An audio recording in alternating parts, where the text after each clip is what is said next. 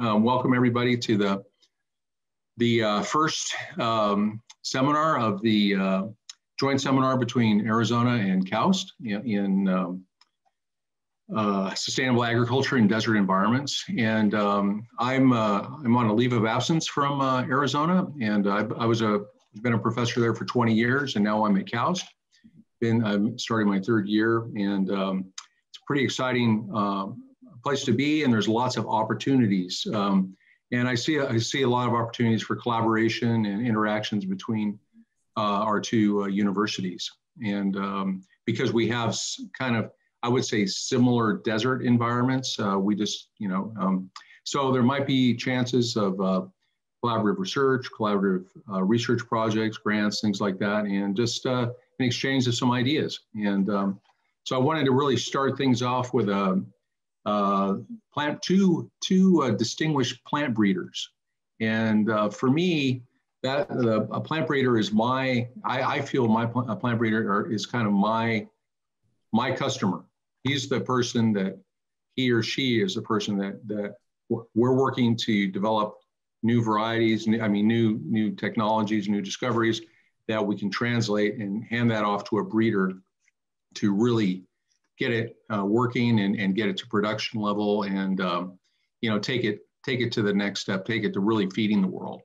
So um, and fortunately uh, we have two um, excellent breeders on, on on on the talks today. We have jesse poland and duke pauli and uh, duke pauli and um, so um, jesse um, he got his uh, bs and ms at k-state. He doesn't go very far from home so when he's going to be coming to uh, KAUST a long way from home. Got his PhD at Cornell with, um, uh, uh, no, yeah, you got your PhD at Cornell with, with uh, Mike Gore. And then uh, after that, you did um, USDA, USDA research. Um, you were a USDA scientist for five years at K-State. Uh, and then um, now you're the presently the director of the Wheat Genetics uh, Resource Center um, and director of the uh, Food Innovation Lab for Applied Wheat Genomics. So he's a double director. And um, uh, he's we we recently hired him at Cal, so he's going to be moving from Kansas to uh, KAUST uh, this summer in his family. So we're really super excited about that. And there he's going to under, um, start some new research directions in uh, date palm breeding and genetics, um, trying to understand halophyte germplasm uh, characterization and uh, neodomestication. So with that, I think I'll turn it over to, to Jesse. And um, so it's in your hands, Jesse. Um, can you, you can share the screen. Yeah, let me try that. Thanks, Rod. That was nice. Um, not quite as exciting maybe if you make it up, but it was still, still quite factual. Um, let me see if you can see. Can you see and hear everything okay now? Yeah, everything's good. Everything's good, Jesse. Okay, great. I'm going to go ahead then. So thanks, everyone. Um, it's really nice to join for this joint seminar.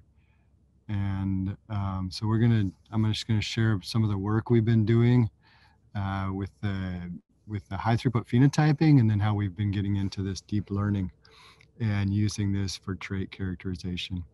So um, let me see how I move forward here. So just to give some context and to give an idea, we work in wheat and you can see this heat map of wheat production acreage around the world. Here in Kansas, right here in the middle of the US, uh, is is uh, wheat country, and we also do a lot of work over here in South Asia, across North India and Pakistan, Bangladesh, and so these are important important places. And just recognizing, like Dr. Borlaug um, said in his in his Peace Prize lecture, that um, that there's this real tight connection between food security and and uh, and peace, and so uh, that's an important focus as we think about increasing production, stabilizing production in the face of, of changing climates.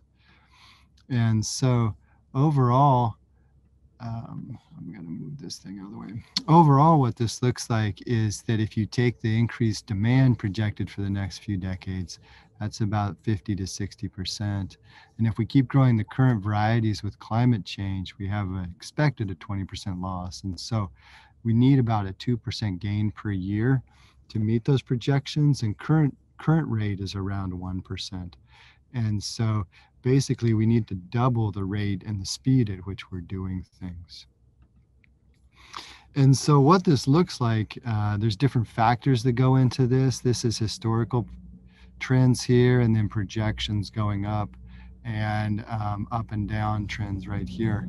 You can see that uh, with this, we need to push this up with agronomy and breeding new improved varieties, but of course, climate change, new diseases, water scarcity are always pushing down on this.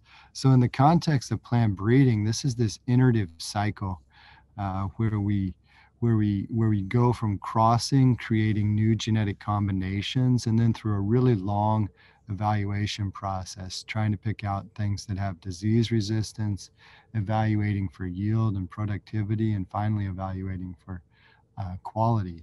And this evaluation process becomes extremely long and, and expensive, anywhere from um, eight to 10 or 12 years for a wheat variety and then finally selecting the best and that advances. So each one of these is a breeding cycle when we talk about breeding cycles. And then so genetic gain is basically how much progress is made in this cycle and how long the cycle takes.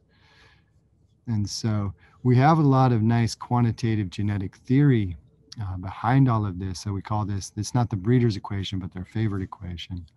And so what this, the factors that go into this then are uh, the genetic gain over time. This is a function of selection intensity and selection accuracy and genetic variance. And then this is divided by uh, the years per cycle. So basically how long that cycle takes. And so what we want to do is we want to increase the intensity. So this is using bigger populations. We want to increase the accuracy and we want to maintain genetic variance while at the same time trying to decrease the number of years uh, that, that, that this cycle takes. So basically making things go faster and more efficient.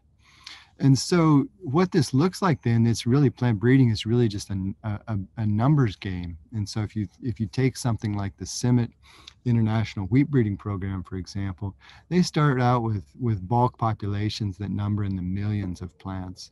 And these are through um, single seed descent and inbreeding to about the F5 generation, these go to tens of thousands of small plot tests uh, that are individual half meter sized plots. And then about 10,000 of those go into full size yield testing. So replicated full size yield plots that are on the order of about one meter by three meters in size.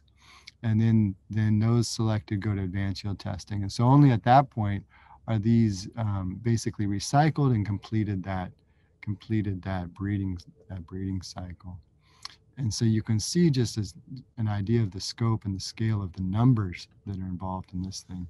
So what we think about is this breeding cycle and how and how we're using genomic prediction and then other types of prediction models to uh, basically accelerate this, being able to predict earlier on in this cycle what uh, the superior performing candidate varieties are going to be, and then selecting those. So what this looks like is we're getting to this next generation of prediction models, and this is where I'll talk about the high throughput phenotyping, is we have something here like the in this first model, the genotype being used to go and predict the phenotype. Um, in these in these interesting models here, we start to look at intermediate phenotypes, maybe things like plant number, um, obviously morphological and developmental traits that are uh, that are then a component of the final phenotype, which is generally uh, the grain yield. And so the question is, how can we look and fill in these intermediate phenotypes? And this is where the high throughput phenotyping uh, comes into play. And so here's kind of the, the central thesis that we use for a lot of our, our research and thinking about this, this high throughput phenotyping, wanting to evaluate crop performance and predict this, we look at these different traits that we're, that we're, that we're tractably trying to get after using the high throughput phenotyping. And I'll talk through some of these traits and how we're, how we're getting at them. And then these all come together in a combined prediction model. Ultimately, in the case for wheat, uh, trying to trying to uh, go for yield prediction. So just an example to start out on some of these. Before we get into that, though, thinking about some important concepts in HTP and high throughput phenotyping, just to put this into, into the correct context. And so this first one is, this is Dr. Ravi Singh. He's the head breeder at CIMMYT. So he tells me HTP is really high throughput painting. And so if you're familiar with the breeding process and, and head rows, these are basically small, small rows um, used for early generation selection. The breeders walk through these very quickly um, going through several thousand a day. And the ones that look good, uh, you put a little, you mark them with some spray paint, and then you know which ones to go back and harvest. And so this is obviously uh, very high throughput. It's very rapid, and with a trained eye, it's actually quite effective selection. So this gets us to this next point then that really that the breeder is the benchmark uh, for all of this. And so meaning here that if we're developing what we consider a high throughput phenotyping system, it really has to be at least as fast and effective as the current breeder's eye or the breeder's selections. This next, this next important concept here is that breeders are notoriously good at phenotyping, meaning notorious meaning like not so um, not so good, but then good meaning that breeders do an effect really effective job at selecting um, the the the the right height and the right maturity. But a lot of times the the data recording of that of those phenotypes is is uh, is is not so good or non-existent, right? And so a piece of this is actually getting quantitative data for various traits that might be selected, but which the breeders don't actually record any data on them. And then the last piece of this is that just recognizing the power of big populations. So this is a scope of, of what this looks like when you put thousands of breeding lines out in the field. Um, but in the in the context of quantitative genetics and plant breeding, we gain a lot of power from big populations. So being able to look at larger, more extensive populations gives a lot of increased power uh, for gain from from selection. So those are some important points, and this gets us to think about what is high throughput phenotyping. So I really want to define and give context for this high throughput. It's this it's this scope of automated data collection, and then it has to be scalable. So we talked about how quickly breeders go through thousands of plots. We need to be doing this for for tens of thousands of plots at a, at a second or less per plot. And so, and then the, the other pieces are it really needs to be field based. So putting this into field conditions, being able to do this at the scale of breeding programs. And then these last pieces on just must be able to, we need, we need automated data processing. A lot of times we can collect really extensive data, but then um, it turns out that we spend way more time processing or analyzing data than we actually did collecting it. So in the in this scope, what we're really trying to think about is how do we connect this genotype to phenotype, and in in quantitative genetics, we're usually we're usually looking at what phenotypes associate with a given genotype, and this then is this this you know this connecting of the the DNA variants to the transcription and the protein variants and how this impacts the phenotype. In plant breeding, we're primarily concerned though with the genotype, how we can know what variants predict the phenotype and then use this for selection.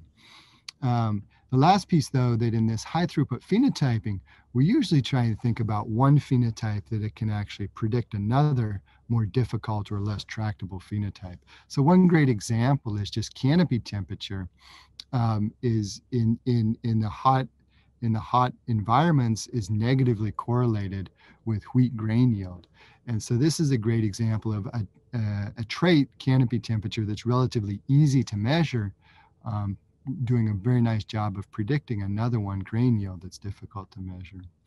So this is, I'll start out with just talking about some really straightforward, simple trait measurements uh, for things like vegetation index. And so here you can see, um, this is just the ratio then of the reflectance and absorbance of near infrared, green, and red light. And this gives a very nice, simple assessment of a healthy leaf compared to, compared to a dead one. And so we can do this quite effectively with these unmanned aerial systems or unmanned aerial vehicles, UAS, UAV. and and this is just an example. We've been doing a lot of this work across South Asia in these international yield trials. And you can see a picture up here in this kind of reddish color of a false color image of what this um, NDVI looks like. And so we are able to deploy this quite effectively, routinely now using these UAV systems. Um, and so the, the big part, like I mentioned, is that a huge amount of this actually goes into the data processing. And so here's just a real brief overview of, of what the steps look like um, in some of these high throughput data sets. But we have ground control points and we have, we have um, geo surveying of the field. Uh, the image acquisition, this is really just about 20 or 30 minutes of a, of a UAV flight. And then this big piece in the middle here is actually the photogrammetry processing. So Kevin, a postdoc, and some others in my group have really done a lot of streamlining and pipelining this analysis because otherwise this is the major bottleneck um, in here. And so, and then out of this, we can actually extract out plot level images that contain um, say the, the NDVI values. And so this gives a very efficient pipeline for getting um, from UAV data down to a plot level value that can be used for the prediction modeling. So one example from this uh, UAV data then is I can show uh, the measurement of plant height. And so this is actually done from stereo imaging. And so just like you can see depth because you have stereo vision, uh, the same thing with a UAV moving at different positions can actually recreate a stereo image, a digital elevation of the field. And so this is basically ends up giving us estimates of a three-dimensional coordinates and points on a surface. And so from this, we can measure depth and, and you can see a little three, three-dimensional model of a wheat field here at the top. These are just seedlings that are 10 to 20 centimeters tall. And then the bottom here, you can see a false color image of, of the height of the elevations basically of the wheat field and each one of these blue um, rectangles here being a wheat plot. Uh, you can see the taller ones versus the shorter ones here. And then you can see like the dark red here is a low dip and irrigation channel uh, in that field. So this gives us a very effective way to start measuring things like plant growth, plant height, and uh, just to give an example of, of one of the traits that we've been working after here on the using this um, digital elevation models as assessment of lodging. And so we can do this then by getting an elevation model prior to uh, lodging, uh, basically during the plant growth. After a lodging event, this is a heavy rainstorm uh, that, that, that caused a lot of lodging in the wheat field. You can see the change in elevation between the pre and the post event. And then from this, you can actually subtract those differences and get an index of uh, basically how, how much the elevation decreased or basically how much they fell over. And so we've been using this then, and we can get a very accurate high throughput assessment of the lodging assessment. And so just to compare this to the visual scoring, so visually you would go out and, and take an assessment of what percentage and how far over the plants have fallen.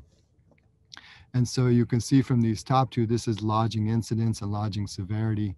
And then the bottom ones here are, are two measures from the, from the digital measurements. And you can see those are really well correlated with the lodging incidence. They're on opposite scales, that's why they're negative.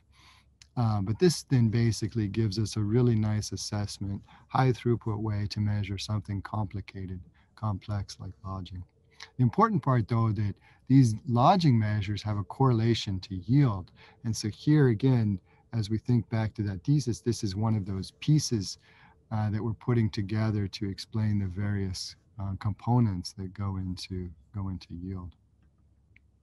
So that's just some examples of how we're measuring a few traits. I talked here about the vegetation index, plant height, um, lodging or some things that we can basically extract out directly from the UAV imaging.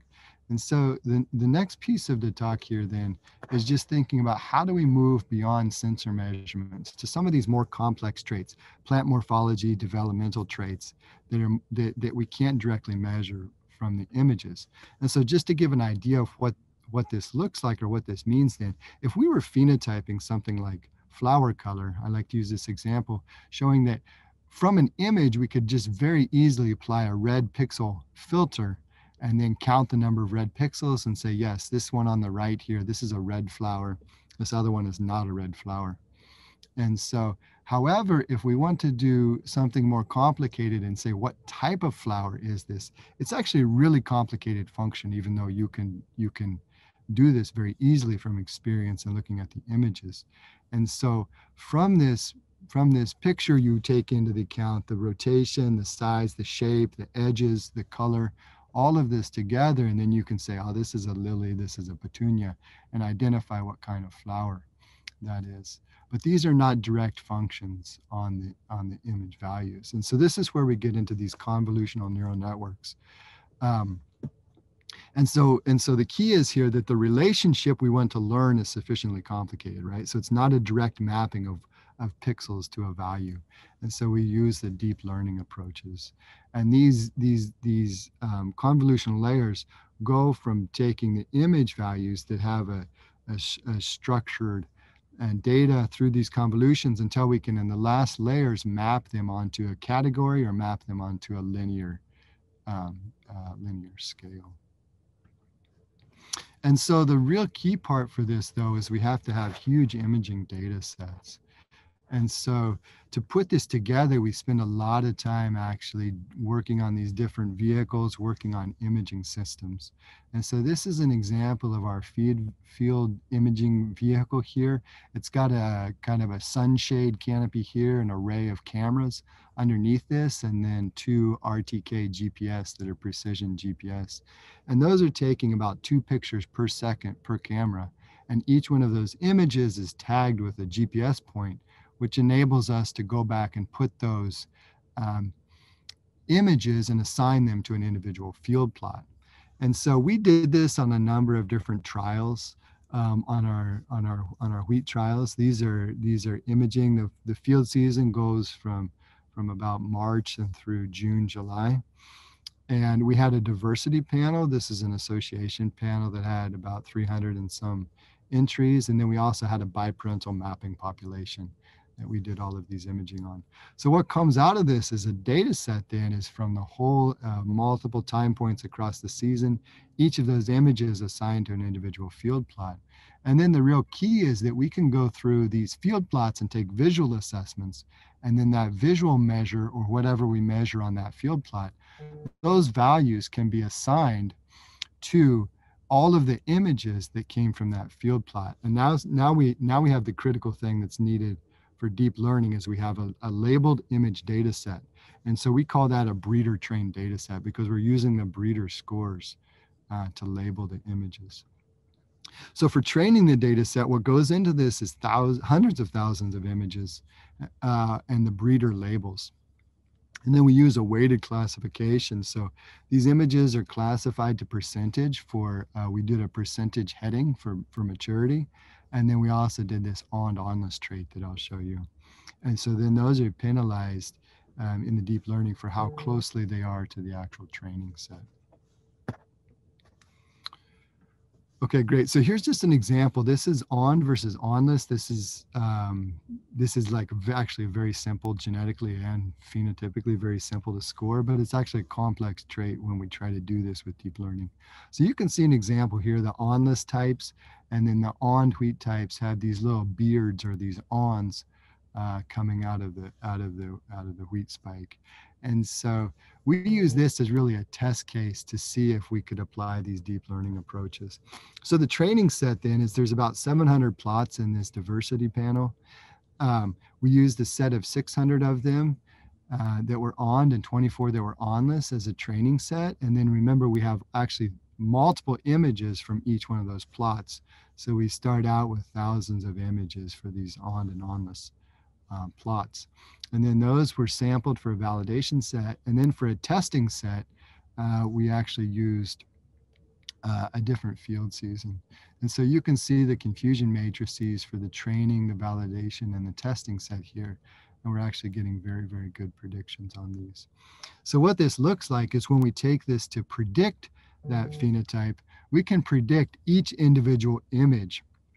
And so that's what's showing here is the zero or one is for awn versus awnless on the prediction level versus the observed on the on the um, on the testing set and you can see at an image level we have um, very very high accuracy and then also the other point is that because we have multiple images from each field plot we can take a consensus of those images to get a value for the genetic entity that's in that field plot. So that's what's shown here on the right. You can see that from this, we actually have increased accuracy, and there was only two field plots that were incorrectly um, classified, and that actually turned out to be two replications of this same variety, which interestingly was actually like an intermediate awn, kind of a short awn type, that the visually we scored it as awnless, and the, the network disagreed and called it an awn type.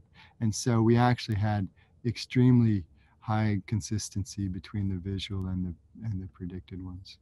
So now to go on to a little bit more complicated, more interesting trait is we look at uh, these growth stages. And so an important stage for any any breeding trials is relative maturity, or in this case for wheat, it's measured by heading date.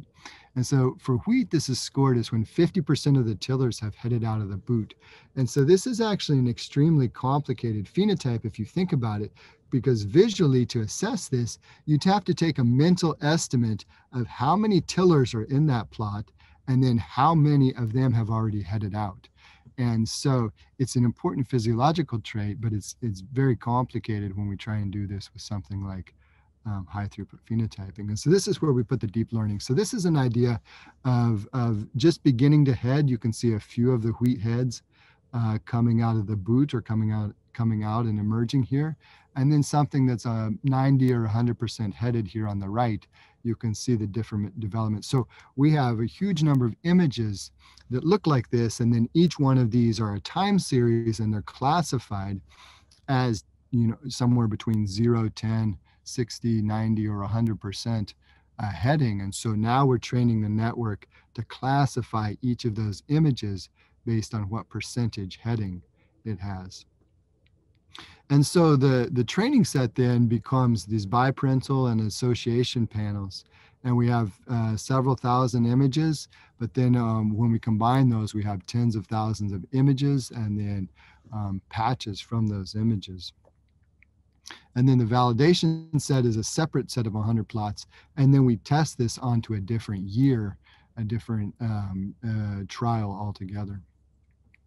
So you can see here on the on the right are the confusion matrices um, with the basically the frequency of correctly predicted versus observed on the training, the validation, and the testing set. And you can see we're getting a nice linear response between what the network is predicting and what the labels were.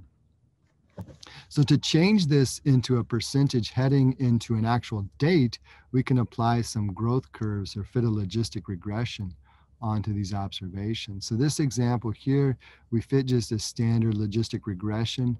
We fix it, the final value at 100% for heading, and then we can fit this uh, growth curve here and actually identify the point at which it crosses the 50% threshold and assign that as a, as a date or a relative maturity um, for the for the heading. And so we can do this then, this can becomes completely automated we can use the network to score each one of the time points in each of the field plots and then apply this regression to identify the heading date. And so that's just an example of what we've done here. Uh, these circles here uh, show, excuse me, these circles here show the visual assessment time points and the percentage scored. And then these blue squares show imaging time points and the the percentage heading that was estimated by the neural network. And so you can see that both of these growth curves fit over top of each other for this individual field plot. Both of these growth curves fit over top of each other very nicely. And so for this individual field plot, we can score that at about 117 days heading, and then we can apply this same logistic regression individually for each one of the field plots. And so when we put that all together, that's what we come up with here. This is showing the estimated heading date uh, for all of the thousand field plots that were in this field trial. And each one of these points then represents the measured heading date, estimated heading date between the neural network and the visual scoring. And so you can see here we have a very nice linear trend across the growing season. Uh, most of these estimates were within one day of each other and very accurate uh, time points. And then we can apply this also for genetic mapping. So we took these values estimated by the, by the neural networks. Uh, we were able to effectively map uh, both known PPD1 and B1. These are photoperiod sensitive genes that have a big impact on heading and also map shown here is mapping some in epistatic interactions uh, between those in these in these populations. Uh, so interestingly, though, we were able to also come up with new phenotypes because we're looking at the at at these time series. We can actually look at how quickly uh, the these these field plots progress through heading. And so I'm just showing here some examples of of of field plots that were heading at about the same point at one or two days within each other. But you can see on these top ones how they how they more rapidly progress through these stages of heading and these bottom ones how they're much more slowly and so this is actually the rate of heading it had a decent heritability 0.5 to 0.6 and it, it, had an interesting and negative correlation to the actual heading date. And so it's interesting these high throughput phenotyping approaches enable us to come come out with some some actually some new uh, previous traits that we had never looked at before.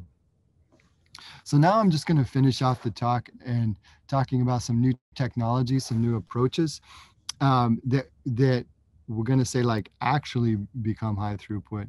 And so with with this phenotyping tractor, it's like sort of high throughput, but it's it's not exceptionally fast in the sense of it still takes us several hours to go through a thousand field plots. Um, in contrast, now we're really focused on UAV technology and doing some high resolution imaging with the UAV. And with this, we can go through a thousand field plots in less than uh, 20 to 30 minutes. And so this becomes then like multiple plots per second and really scalable. And so what this looks like then, uh, let me see if this will play here. Oh, wait, they didn't play together. Uh, so basically you can see the UAV moving across the field we use um, an RTK GPS, which is a centimeter level precision. And this UAV is equipped with a 4K um, uh, video camera here with a with basically a telephoto lens. And so you can see in this little thumbnail up here the actual video feed as it moves directly across the field plots. And so we will fly this up and down each individual range in the field. And from that, we can actually capture extremely high resolution videos that can be extracted to high resolution image frames, which give us the same resolution as we were getting on the ground vehicle. So one of the real keys to this, oh, how do I go forward here? One of the real keys to this then is is actually being able to process and extract out these individual image frames. And so this is where Kevin and my group has done a really nice job using this bandpass filter here to identify each time that the video frames progress from one field plot to another. And then from that to identify the individual video frame that's directly in the center of that field plot and extract that out as, as an image. And so what you can see here then is um, a final image that's been extracted out from that field plot. And you can see we have sub-millimeter level image resolution from that UAV that's moving quite quickly over the field. So from that, this is just a zoom in to give you an idea of the kind of resolution that we can get from actually one of those videos.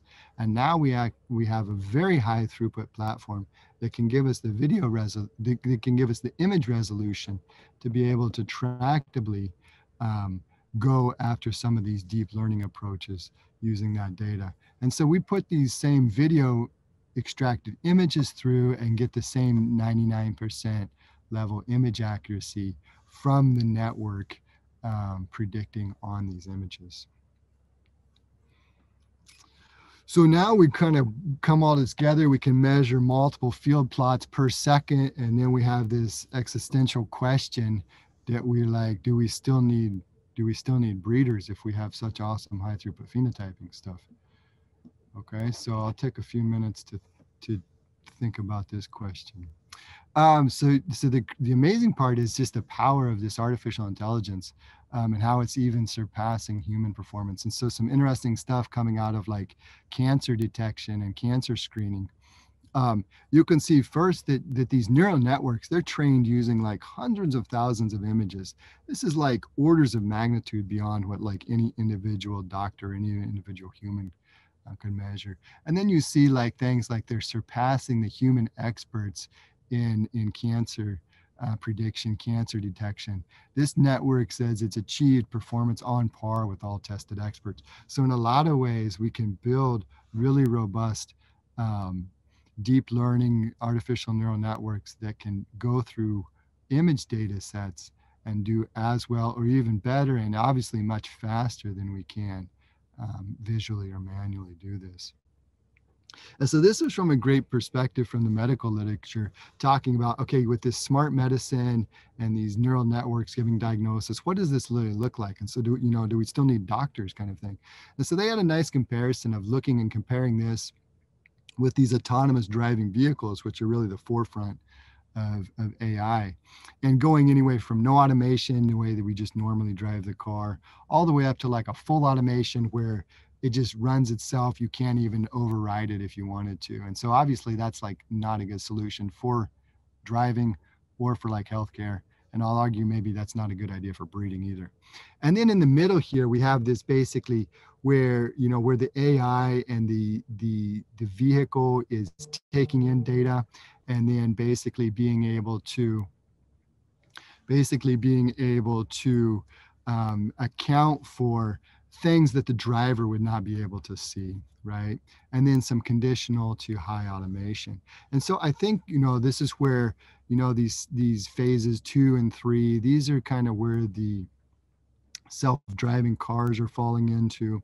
And i think this is where a lot of the healthcare and then i'd argue where a lot of the breeding uh, will fall into also uh, to this point where we, we can use the deep learning, we can use the AI to really augment and bring in levels of data observation that would be inaccessible or intractable um, to the breeder otherwise. And then basically have a, a huge augmentation, some automation of, of basically the breeding process and more importantly, selection decisions. So the key though is, you know, one key that they kind of concluded from this is that there's, you know, the risk of a bad algorithm that's going to be applied across millions of patients, or in this case, millions of selection decisions in the breeding program. That has a much higher risk than if you just make one bad decision as one single doctor. But however, there's there still is this huge uh, reward for you know potential for reducing errors, and inefficiencies, and, and cost savings. And that's the same in the, in the breeding program. So just to kind of put everything in perspective as, as a fun conclusion here, I, I took this same problem and tested it on a real neural network. Okay. And so this, uh, this was using a, a real network of that, that was two years and 11 months old and we had one training epoch that was that was all the attention span we had for about two minutes. Um, and then we had 16 samples so we didn't even need a large training data set. And eight of those were on wheat types and eight of them were awnless and for simplicity um, just like we had to code them for the neural network we coded them as spiky which was on and not spiky uh, which was awnless and then um, we found out that this neural network actually performed extremely well so let me show you this video of my daughter uh, from a few years ago. Hopefully the sound will come through. This one. Yes. this one. No. this. Okay, good. She's so cute, we have to watch it again. This one. Yes. this one. No. So you can see here that um, we basically have a two-year-old who um, can, in in in like just a few seconds, basically do everything that we trained this really fancy neural network uh, to do. And so this puts it in perspective of just where we're at. We're really exciting frontiers, but also uh, just at the very beginning for for uh, using what is truly artificial intelligence. So just some conclusions from all of this. That the, the HTP is really exciting. It's getting into production mode. It's really integrated to prediction and modeling. Um, and that's I think that's where exciting. Now that we have these data sets, how can we really use them? Uh, the next big thing is that we can really use the deep learning to measure these complex traits, traits that were previously intractable. And then breeders are still very relevant. Like I said, from you know taking cues from the medical community, it's going to be this hybrid where it's data augmentation, you know, helping to make decisions. And then, of course, you know, why do it the easy way when the hard way is so much harder? Uh, something that my you know my two-year-old daughter could do. We spent like massive amount of time making this complicated imaging platform and you know burning a lot of cpu hours and so we have to keep in perspective where to really put the effort in, in, in all of this. So I have a lot of uh, a lot of thanks. I'll, I'll stop there. Um, just great people in my group. I highlighted a lot of work from from Yu Wang, Kevin in my group, also Daljit, some of his work, Mark and Byron have been really critical. And this work was really greatly supported by NSF and then also uh, NIFA and USAID. So I'll stop there and say thanks and um, take any questions now, Rod, or? Um... Yeah, I think I think we're we're going to uh, we're going to hold the questions to the end, Jesse, and uh, I think we'll have Duke come in. So I think the idea was to have more a little bit shorter talk. oh no! But uh, it's okay. We'll let we'll let you slide because uh, of your your daughter uh, uh, stole the show. Okay. So. sorry, I'm sorry about that, Rod. No, it's okay. We're we're good. We're good. Jesse's um, second interview talk, right, Jesse? Yeah, yeah. no, um, yep, to yeah, like we'll, we'll save the questions to the end just because we want to have a discussion between everybody. I think that that'd be good. So, um, the uh, the, the next speaker is uh, uh, Duke Pauly. Uh, Paul Lai. I'm sorry, Duke. I always mess up. And uh, I think I actually knew Duke, know Duke a little better than Jesse because I was on the search committee that uh, brought uh, Duke to uh, Arizona, and uh, we needed a, a, breeder desperately. And uh, he joined uh, Arizona, and I think in 2018, he got his PhD and, and, and BS at Montana State. Um, and then he did a postdoc at Cornell, and this one was with Mike Gore. I made a mistake with with um, Jesse, and uh, has been an assistant professor at Arizona since 2018. And one thing, um, and this is along with Jesse the same way, I mean, these two guys are modern plant breeders, all right? And if you look at Jesse's website, I mean, at Duke's website, he of course has, he has a couple PhD students, a couple postdocs. He has a research specialist, a, um, a senior engineer, and an electrical engineer and a research data specialist.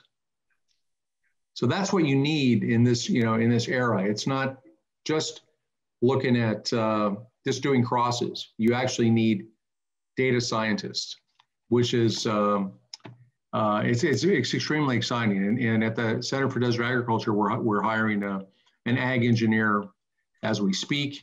And um, anyway, Duke, maybe you can tell us a little bit about that. But he's assembled this whole team in just a few years, and uh, and we'd like to hear from Duke now. Duke.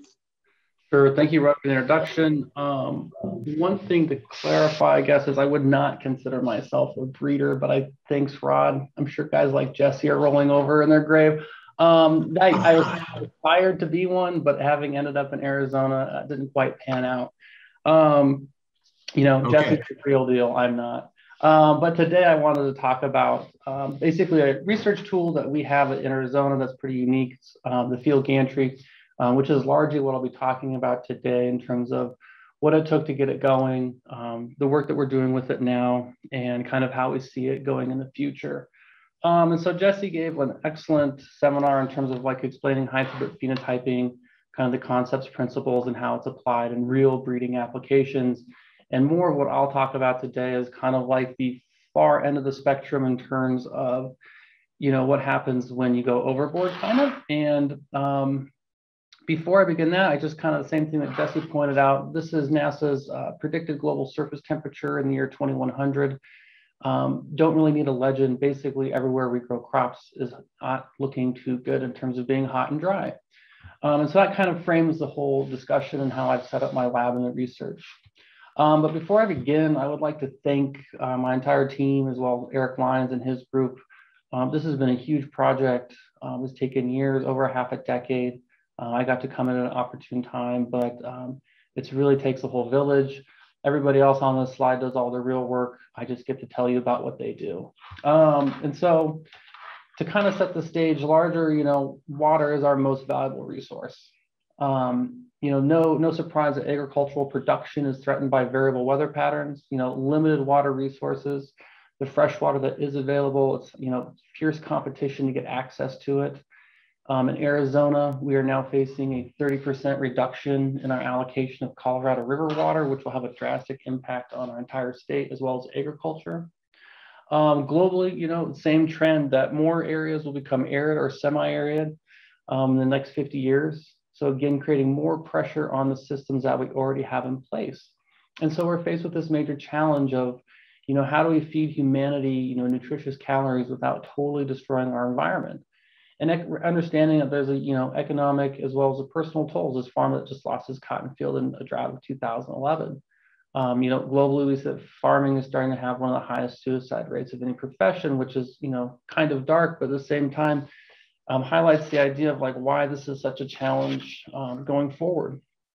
Um, so to take a step back, um, as a plant breeder, Jesse can appreciate this. I'll give you my spin on it. Um, plant breeding is a solution to addressing this problem as he highlighted. Um, luckily, I even have a wheat plant in the picture, Jesse. but the drought phenotype is a whole plant response. you know, it's a phenotype that's entirely reliant on the environment in which it's expressed. Um, although some major companies have touted like single gene, you know, drought genes and whatnot, um, you know, we haven't really seen that pan out too much. Um, Aquamax does have some good performance, but it also, you know, has some downsides too as well in terms of commercial corn variety. And this isn't surprising when we think about the complexities of, you know, whole plant performance. So a plant has to use multiple mechanisms to mitigate stress that it encounters. So this can be through things like leaf morphology, uh, photoprotection such as waxes that coat the leaves, uh, as well as the pigments within the leaf tissue. Um, transpiration efficiency, so how plants are moving water throughout the entire um, xylem structure of the plant itself in relation to stomatal conductance and ability to fix CO2 to produce biomass. Um, there's components such as water uptake, so roots exploring the ground to capture groundwater resources, as well as like how fast it can extract that water from the soil profile. Um, and finally, there's the age-old question of harvest, you know, partitioning the harvest index. Um, so plant has to make a critical decision of where do I put my carbon towards reproduction or towards vegetative biomass. And so when we think about these concepts, that's kind of why it becomes clear that you know improvement must be at the whole plant level. Um, and really, you know, understanding the biology and genetics of stress responsive traits is kind of the ultimate goal that we're looking at.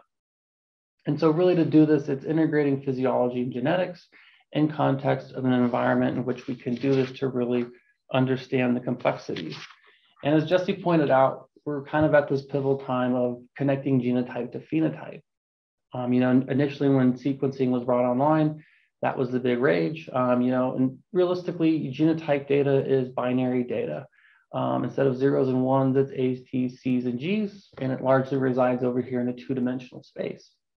Um, but as it goes through internal and external interactions with the environment, um, including its own environment internally, um, that manifests into you know fitness landscapes. So basically on the right-hand side, we can see that genes and combinations of genes give rise to different phenotypes based on the environment in which they're expressed.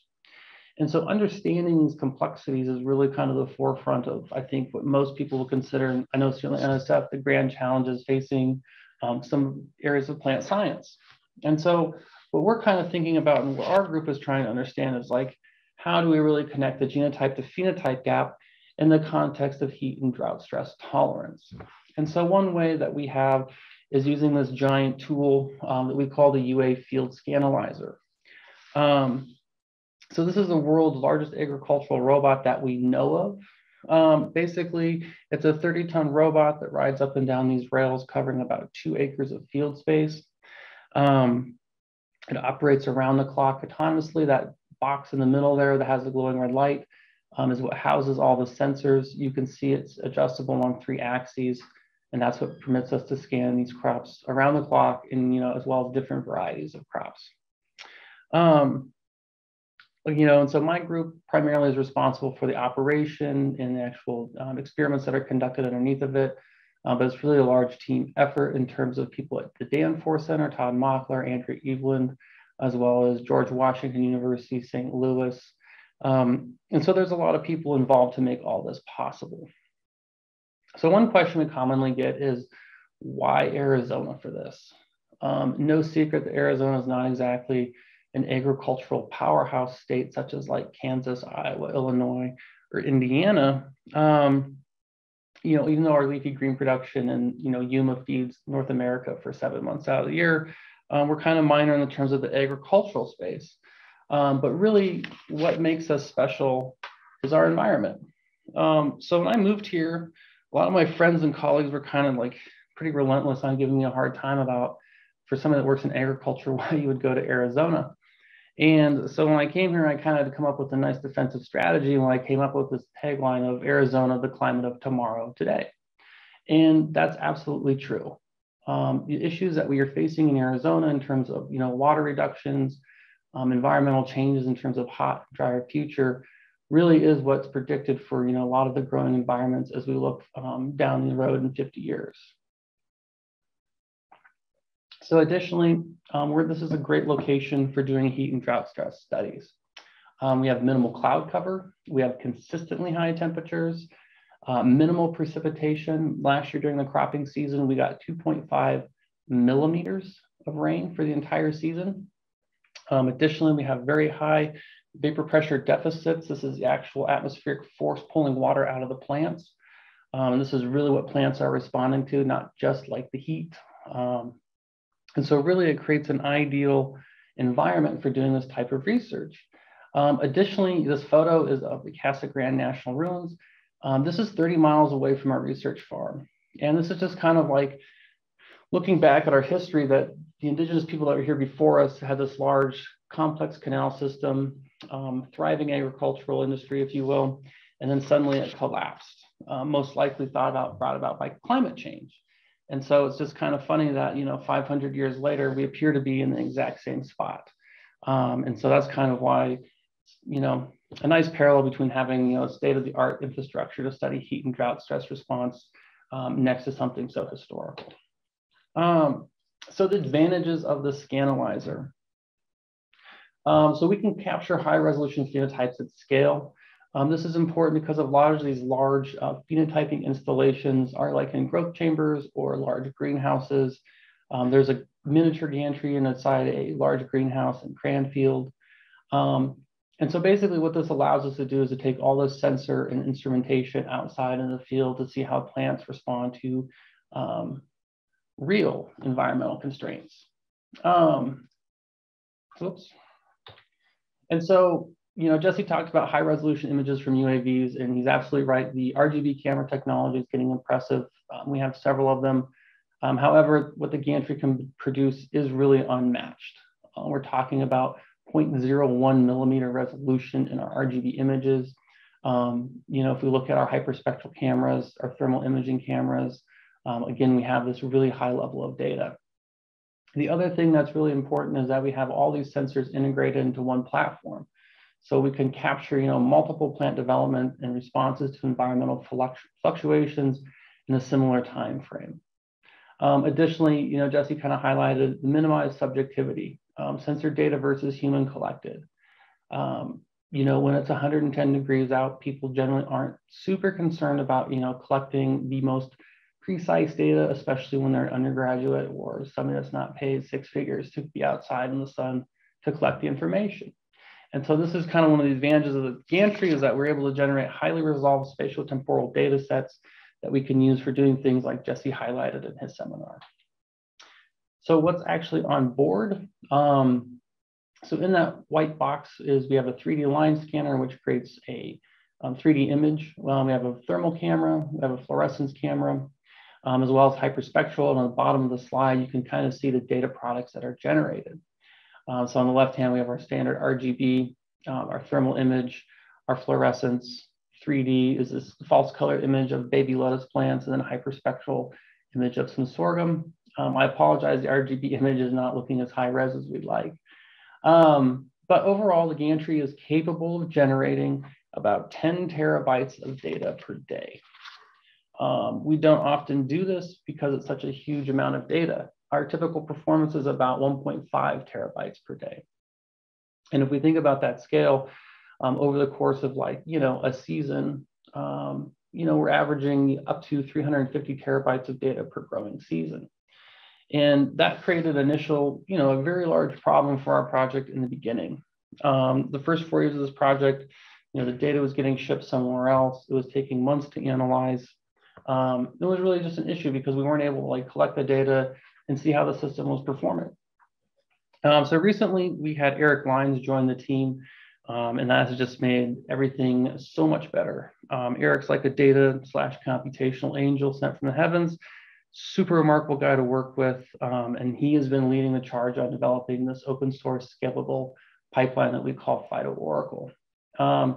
I don't really want to talk a lot about it because it's more Eric's thing and I would probably not do it justice. But the overall gist of it is that when the field is scanned, the data is sent to CyVerse, um, which is a large NSF funded supercomputing cyber infrastructure.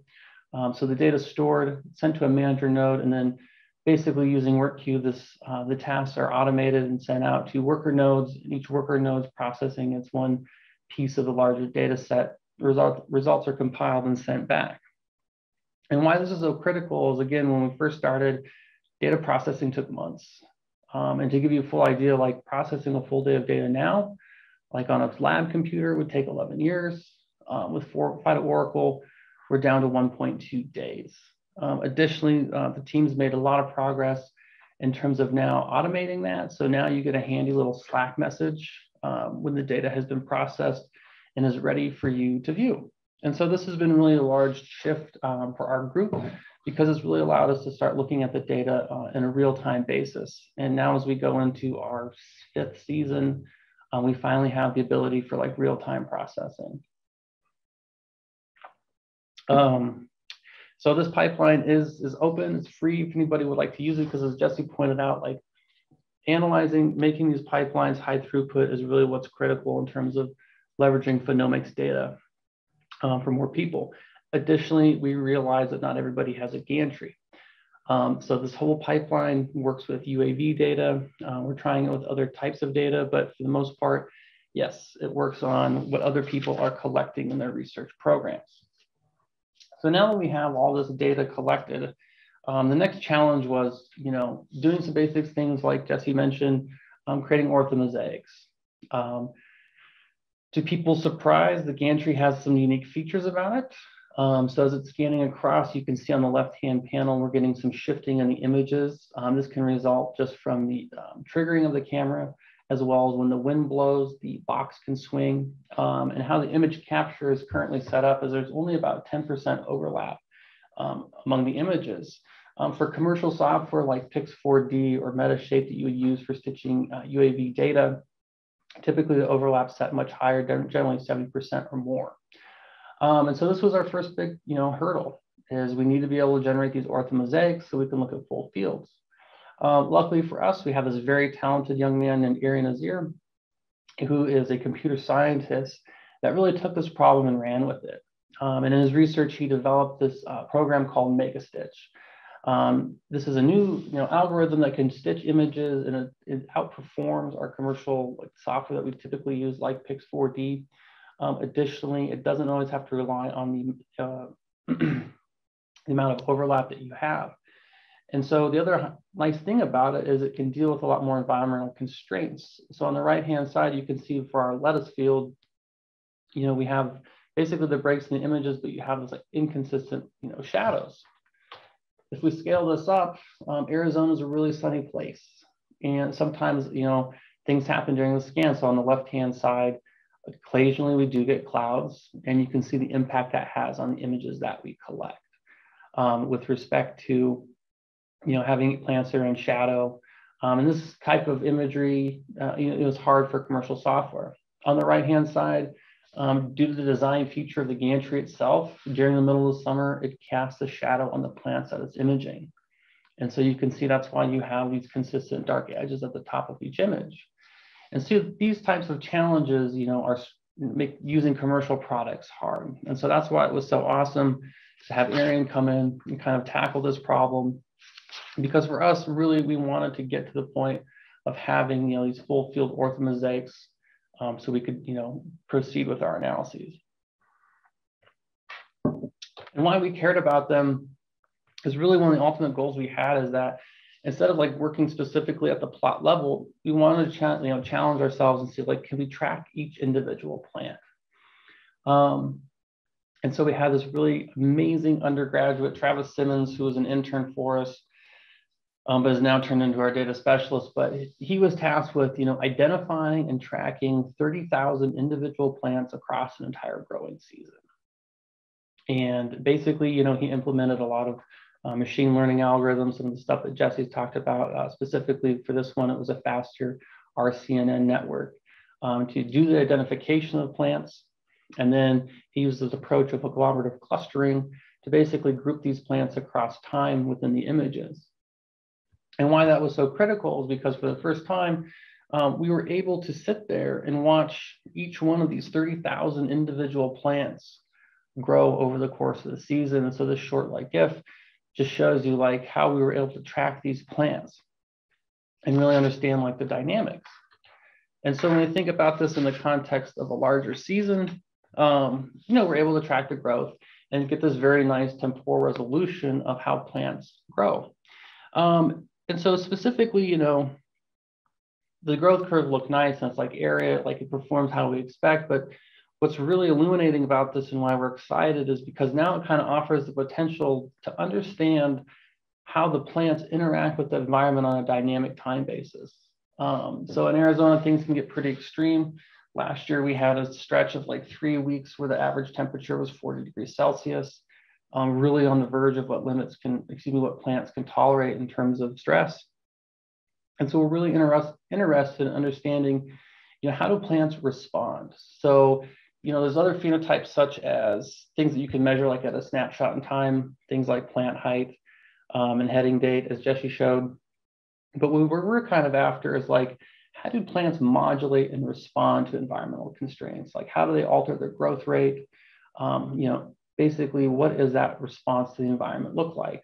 And so that's why we were so keen on being able to track each and every individual plant over the season is now we get a better insight into how the plants are actually responding to the environment.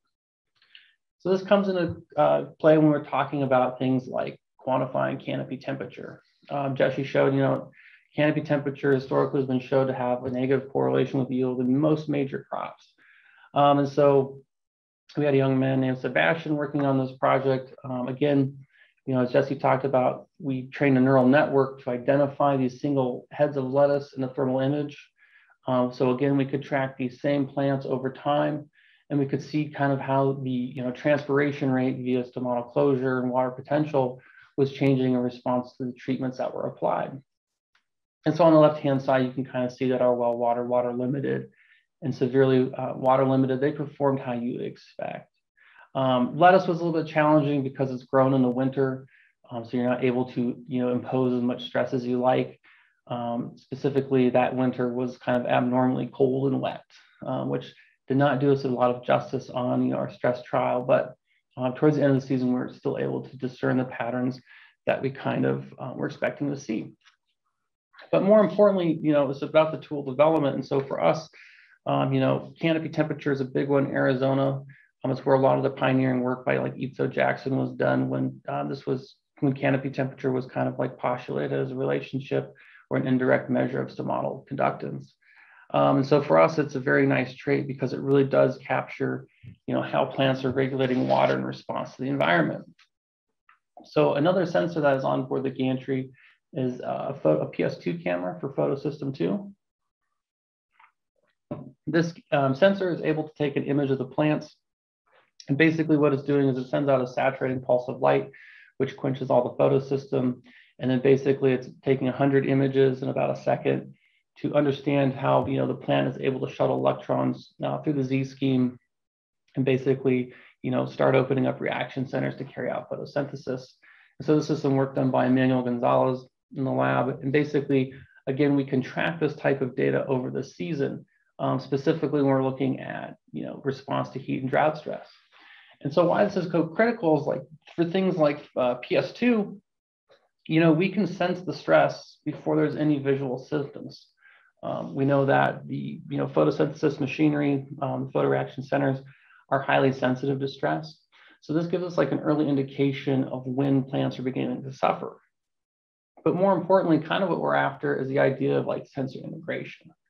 Um, so by having you know PS2, which measures basically the photochemical efficiency of the plants, relating that to something like stomatal conductance, which we're capturing with our thermal imaging system, and then finally tying that together with um, things like bounding area or plant volume, we're able to get a more you know, clear picture again of how plants are responding at the physiological, morphological level in response to heat and drought stress.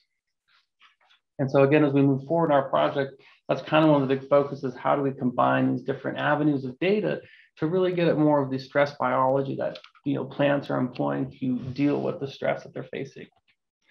Um, something that I'm kind of very interested in is this idea of plant performance prediction. Um, and so this is some work being done by a postdoc in the lab, Nathan Hendler. Um, the question is like, okay, we have this like really resolved, highly, you know, temporally based data.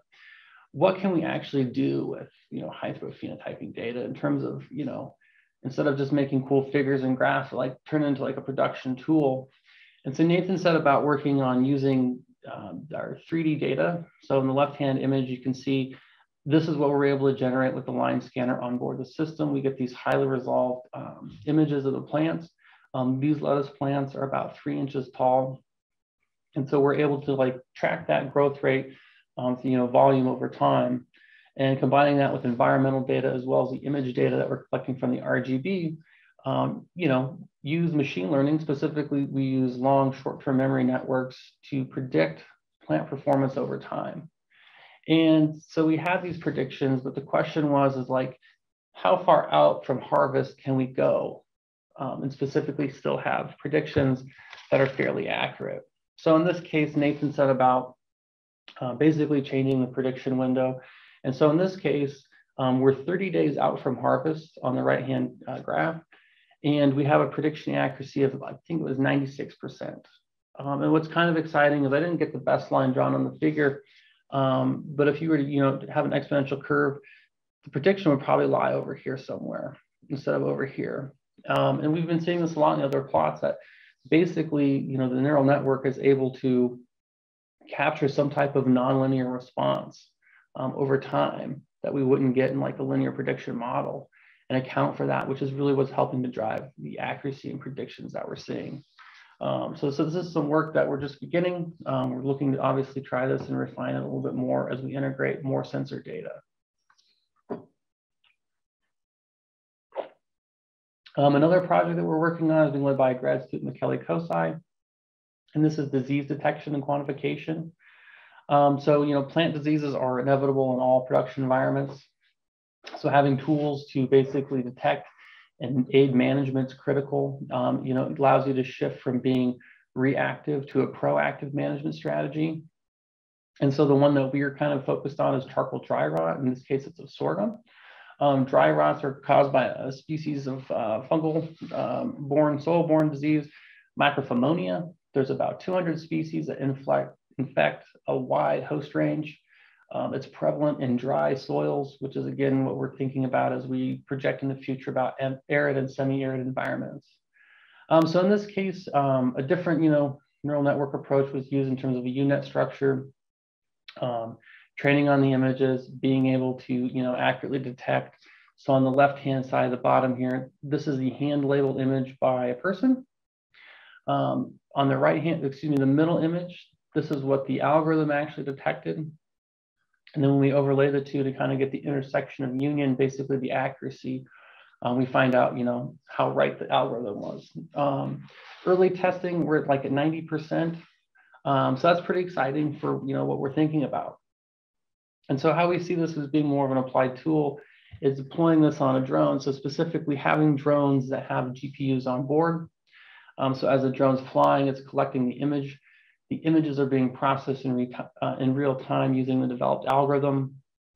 And then that information, so when the drone lands, basically a map's generated and a farmer could hopefully just be like, this is where I have my disease problems in the field. Um, if you talk to producers, that's their biggest reluctance to using UAV in production agriculture is just that they don't have time to fly the drone, process the data, and do all that other jazz to actually get actionable information. And so we're kind of hoping to address that problem. Um, a cool project that's just starting um, kind of follows along the same lines of, you know, in silico plant growth and development. Um, so we're helping, you know, we're helping other groups, specifically Dr. Bedrich Benes at Purdue University and James Schnable at UNO. And this is some work funded by AG2PI, which is the um, Animal Genomes to Phenome Initiative. Um, this is a large consortium of researchers from animal scientists, plant scientists, all working to kind of study how to kind of close the genotype to phenotype gap um, using a variety of tools. So Bedrich is a uh, computer scientist, specifically in visual media. And so you see in the image that these are plants that have been grown in silico using their algorithm. Um, and so this algorithm relies on having, you know, 3D point cloud data, which is exactly the type of data that we're able to generate with the gantry. And so we're using geometric modeling and object reconstruction to basically develop these simulated data sets of organismal development. Um, this is you know, impactful because as Jesse talked about, you know, using machine learning, there's this training phase where somebody has to go through and, you know, uh, label the images, and it's extremely time intensive. We've been trying to do it on point cloud data itself, and it's just been brutal in terms of how long it's taking. And so by doing this in silico, as the algorithm develops a point cloud, it already has labeled the data in terms of whether this is a leaf, a stalk, a panicle, a flower. And so that greatly speeds things up. And so we're kind of, you know, using this approach to understand plant growth, canopy dynamics um, in response to the environment. Um, this summer, we're deploying some sensors to basically measure how light interacts with the plant canopy, and then employing a ray tracing experiment to really understand how does light filter down through a sorghum canopy and how does this relate to light use efficiency as well as biomass generation? Um, one of the other things we're working on is since we're generating all this high resolution data, um, we understand that again, not everybody can come to Arizona, um, but we still want people to be able to like use our data, interact with it and study it. And so a lot of this high throughput phenotyping data, you know, people want it to be reduced down to, you know, an Excel spreadsheet that just has like a table of values that I can put into R but part of the whole thing, you know, exciting about data analysis is like data, you know, exploratory analyses. And so we've been working on this like virtual environment where you can see that this is just one row of plants from the field, but um, with VR, you know, you can walk up, you can click on the plant with your hands. It pulls up all this associated phenomic data. So, you know, you can get like the scan dates, bounding area over time, so how the plant's growing, down here, you can actually, you know, pull out that 3D point cloud of the plant, interact with it. Because um, as Jesse talked about, the, the breeder or people have like an intuitive sense um, for plants, for plant performance, the traits you know, they think are important. And so this creates like an environment for people to really like go in there and explore the plants without having to physically be um, in Arizona. Um, and so we think about that, from the context of like, you know, collaborations that, you know, somebody like Rod could come to the virtual field at Maricopa and still walk through it with the VR glasses and, you know, basically get a similar experience as of those being um, there in person. And then finally, some stuff that's um, I'm kind of excited about um, is some newly funded research about implementing ecophysiological modeling to study complex traits. Um, so when we think about the actual plant processes and physiology that gives rise to stress adaptive traits, it's a lot of complex things going on within the plant. And these traditionally have been really traits that are hard to measure. Um, so in this case, the one that we're after is hydraulic conductance. And this is basically how well the xylem structure is able to transport water from the soil profile up to the canopy. Um, and so we're using this model called TREES. It's one of the few models that actually can uh, capture plant hydraulics in relation to carbon allocation, so reproductive structures versus vegetative structures. Um, this it's a fairly complex model, like heat, uh, mass transfer model um, that takes in a lot of environmental drivers. So you can see on the right-hand side, things like soil weather, soil water data. Um, and then, you know, using our high throughput phenotyping data like leaf area, plant height, canopy temperature, we can feed this, feed this information into the model to extract out parameters such as hydraulic conductance, which is a trait that we would never be able to measure at large scale. Um, right now, it takes about a day to measure hydraulic conductance on about three plants. Um, so there's no way we'd ever be able to do that at the population level. And so this is an exciting project for myself because it's kind of integration of, you know, physiology, high throughput phenotyping, um, the modeling component to really get at what is driving the plant response versus just the things that we can measure. Um, I think that's kind of maybe one of the new shifts as we go forward is um, trying to get more at the processes that give rise to the phenotypes instead of the phenotypes themselves. Um, so I just want to, you know, conclude briefly that our lab is using a lot of variety of tools to look at stress adaptive traits in crop plants, um, you know, leveraging data science, machine learning, AI to process um, these large volumes of data is just becoming hypercritical um, in any research group. Um, I like to say the field scanner is finally becoming like a research grade instrument. Um, you know, there was numerous challenges from the get-go itself, uh, from the actual structure to the cameras, um, but certainly, you know, recently in the last year with the help of Eric, like getting this pipeline up and running to process data. I mean, it's just so exciting to having to go from like waiting six months to getting type of data back to, you know, a day and a half. And then to get a Slack message makes it even better. Um, so we're generating these high spatial temporal uh, data sets to investigate heat and drought response. So how do like what are the dynamics of plant response? Because um, that's really, I guess, key is not just measuring the phenotype itself, but how the plant's changing. Um, and so we're developing a lot of these new tools um, that are free, open source. And then finally, you know, employing modeling to, to study complex phenotypes that we aren't able to measure directly. Um, I think this is kind of one area that we'll see phenomics really have an impact on in the future. Um, so I did just want to thank everybody for your time. Um, hopefully I left a left, excuse me, I left enough for some questions. Um, but just to conclude that the data from this project is open source. Uh, we, it's publicly available.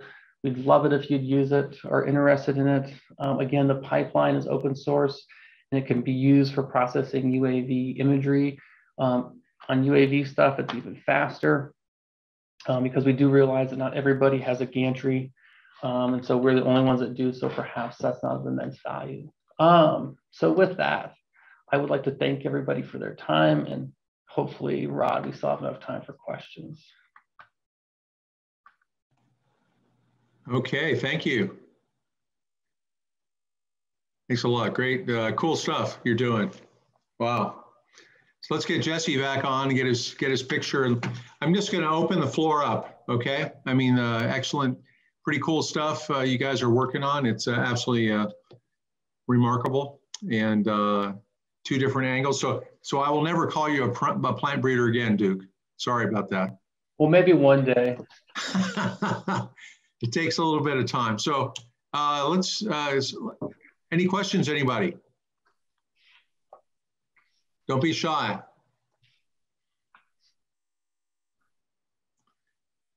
Okay, talk's over. no, so uh, I, just had a question. Uh, I had a question for for Jesse. Um, you know, you got the awns versus no awns that imaging system. Will there be a time when you can take a, uh, uh a you know a UAV and just and just like you know fly over a you know, I don't know, uh, like a forest, and and be able to figure out what's growing and you know what what everything is growing in that in that area. Yeah, yeah. I think I think they're there. I mean, there's groups working on like tree identification from leaf shape and stuff like that. Yeah. So, I mean, in that specific example, I think it's totally tractable because you can identify what species of tree you could, you know, with that level of resolution, you could, yeah, you could do something crazy like that. You know, for you know, like like invasive species, I'm thinking of buffalo grass, Arizona. You know, you could just you know UAVs and just identify that and just na- and just take a laser and blow them out. you know, I don't know if you can do that. Or two, yeah. I don't know about the laser yet. I don't know So, about zapping them would be pretty hard. yeah, that's the next. That's the next thing to get on there. So it's a. I remember seeing a um, in in Maricopa in, in Yuma there was a a a device that would go through and it would actually be they wanted the spacing and if the spacing wasn't right they had a little thing that would kill the kill the plant. Yeah, that lettuce bot. Yeah, yeah, yeah. Okay, guys, don't don't. Uh, I don't want to be the only person with a question. I see Hanan's got her. No, you're not, Rod. Rod, there's two hands up. Okay. Anin and Jocelyn. Okay, well, um, you guys go ahead and ask live. I'm not going to read your questions, okay? Please just, just speak up. Okay. Um, thank you so much for this nice talk. Um, so it's always actually fascinating uh, when the uh, topics comes to artificial intelligence and machine learning. I think really artificial intelligence will take over us. so uh, I have like just maybe two uh, points for discussion, and this is general, it's not specific for Jesse or Duke, is that um, is it like this deep uh, learning or machine learning uh, to do uh, high throughput pheno- phenotyping uh, affected by uh, uh, the plants? If the plants, for example, is loading, it has small grains and spikes, like is the performance of deep learning models can be reduced? And another point is um, if it's possible that this uh, technology combining of course with genotyping and maybe uh, with environmental factors can be used to identify varieties that will be suitable in future conditions. So taking in, a, in account that uh, there will be more climate change in the future and so on. So can we predict the crop performance in the future with these technologies? Um, I guess, Jesse, um, my answer to the first part is the question you're asking about the machine learning. Um, really, it comes down to how much time and energy you invest in the, the training data set. Um, you know, I think that's where you spend all your upfront time, and that's kind of what limits you in terms of what your algorithm can do. Um, I'm sure Jesse has something to add. For the second one about predicting plant performance, um, yes, I think that's exactly what we're kind of working towards. So that model TREES, um, we were able to predict plant performance in Texas um, just using environmental data that they had. And, you know, as long as, you know, you're only as good as your model. So, you know, making sure you're not extrapolating from your data, but interpolating. Um, I think that's kind of the limit. But yes, I think in the future, um, if you have a good enough data set that you would have that possibility. Yep, I agree. I think Duke's right on there.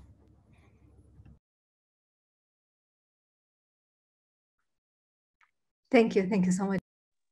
Next question from uh, uh, Yazelin. Yes. Hi. Uh, okay. Hi. Thank you so much for these uh, talks. Are very enriching and quite related to my research interest. So it's fascinating to to read to hear about this. So I have two questions uh, or a couple of questions for both of, of you. Um, for Dr. Jesse, um, I would like to know which criteria do you follow to choose um, the deep learning uh, classification model that you are using. I mean, because there's a lot of classifications models or deep learning models out there. So which criteria do you follow to each uh, convolutional network, for instance? And the second question is um, also about the criteria that you follow to choose um, which relevant traits do you um, you have to phenotype? Because what happens sometimes is that we want to collect a lot of data. We want to uh, we want to um, collect different traits at the same time, but maybe maybe not all of them are um, relevant for the specific purpose that we have. Yes. So which criteria to follow to collect the the relevant ones? And for Dr. Duke, I have one question, and is how to put together all these digital-based HTTP uh, traits and environmental uh, param parameters into um, modeling framework because I think when we put together these two uh, kinds of uh, inputs or parameters, we can really uh, uh, be closer to connect phenotyping to genotyping. Yeah, great, great question. I'll go on. I mean, uh, first one, thinking about like what network or what model to use, I don't know. You just ask your computer science friends. Um, I mean, these guys, I mean, these guys are, you know, there's something new coming every day. And so I think some of these, you know, they even called some of our, you know, like Robert Pless and these guys who were, they call these kind of vanilla models. They're really basic models in some sense.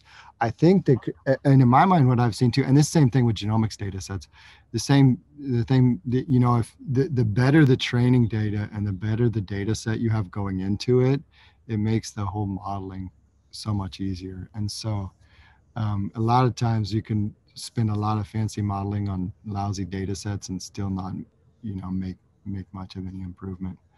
Um, and then on the, you know, what traits to focus on, right? Like awn-awnless is not not really a very important trait at all. But was, that was more of a testing case, something that was easy and very tractable to do. Heading date and relative maturity, those are obviously very important ones. So it's, yeah, so you can spend a lot of time going after like irrelevant um, phenotypes just because they're tractable to do for like high throughput phenotyping. Um, and so I think you really got to balance like what's actually going to be relevant for making selection decisions or breeding or genetics versus like what's just an interesting engineering experiment. Yeah, that'd be my thoughts. Uh, thanks for your question. Um, regarding the second one, how do you put all this stuff together? That's a challenge, um, right? Each sensor outputs a ton of data across different days, and we're struggling with how to combine all that. Um, kind of like Jesse said, this is when you go talk to your computer science friends, um, because you know you can't keep up on all this stuff as well as doing science. And so we're taking a new approach. Um, where basically each sensor is its own, you know, flat file, and then we have like a new algorithm to basically integrate all those flat files into one thing. Because um, what I'm specifically interested in again is how understanding those like environmental dynamics drive the phenotype. And so that is kind of the challenge: is how do we push all that together? And I don't have a good answer for you right now, other than saying that you're right. It's a huge challenge, and I think we're all working on it. Okay, thank you. Thanks, Duke. Thanks, Jesse. Um, uh, another question from uh, Ikram?